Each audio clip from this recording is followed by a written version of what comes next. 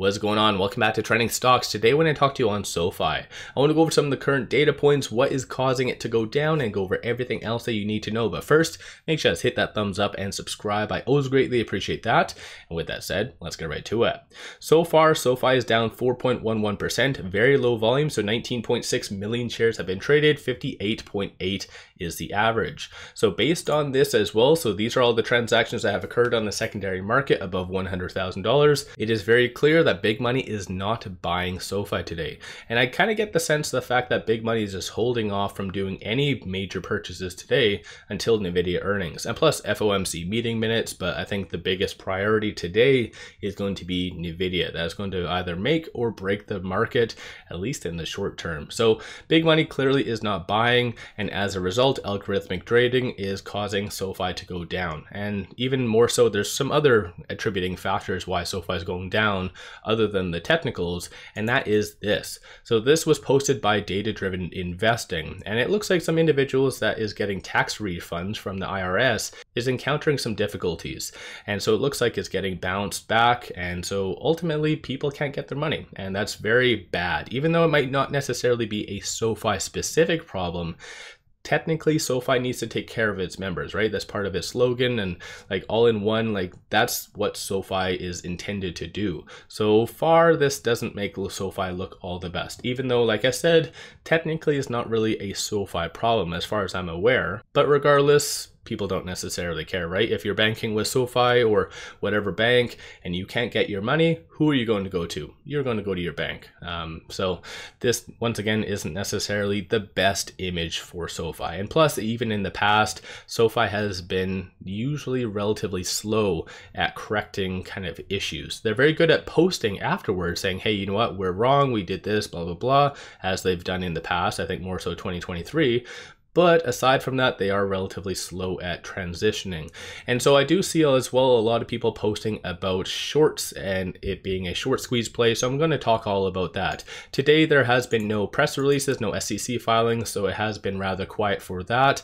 And as far as shorts, they aren't doing all that much. They're increasing about 91,000 shares. 16.51% of the free float is being shorted and 150.6 million shares overall are being shorted. Cost of borrow average is a little little bit lower in comparison to, I guess, yesterday. And so right now it is at 0.99%.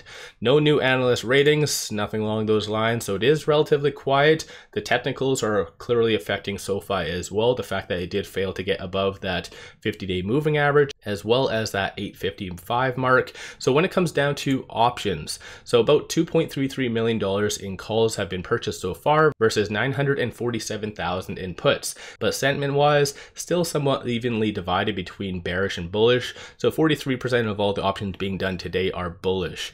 So that might be hedging done by shorts or that might be legitimate optimism uh, associated to that. Looking at some of the call options that are being purchased, there is a consensus for it to be above 850 and looking at puts, it is anticipated to be sub roughly around 750. So looks like the orientation is more so bearish for that. And when it comes down to right now with that $8.15, it is trading between this S1 and the pivot. As I said in my pre-market video, you really wanted to watch this pivot point to hold.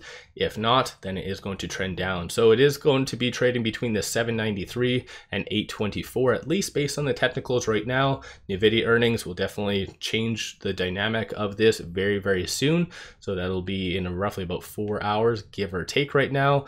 But as of right now, looking on the actual chart, it did fail to get above this 50-day moving average, as I kind of mentioned. So it's been bouncing off of that over the last week, week and a half, which usually does happen because you need a good justifying reason for it to be above that, because it did bounce off of that, consolidated, bounced off of this 100-day moving average. So it is actually just range bound between the 50 and 100-day moving average, which is a very perfect circumstance for options traders, because any stock that is very volatile and kind of stuck within a set range, like that's easy money, um, in my opinion. Not a financial advisor, of course. So on the actual chart, it is consolidating once again. So you'll really want to watch this 100-day moving average to hold. If not, then that is where things could get very scary, very fast. You'll see 850 at least in the short term if that doesn't hold.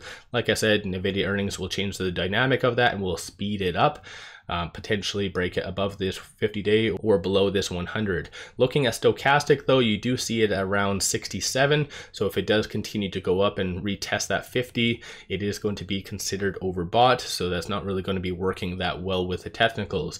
All in all, to summarize, I know I'm ranting quite a lot. Technicals are looking overdone and does need to kind of pull back. So there's that circumstance that's not necessarily the best. And it's really unfortunate because especially post earnings, like their technicals looked primed and ready for a nice breakout. Just it's been it hasn't had the actual full commitment from big money. They've been getting in and out strategically, but still it's not getting the favorability that I would really like. But what do I know, right? Let me know your on all that. Don't forget to hit that thumbs up and subscribe. I always greatly appreciate that. And with all that, appreciate all of you watching.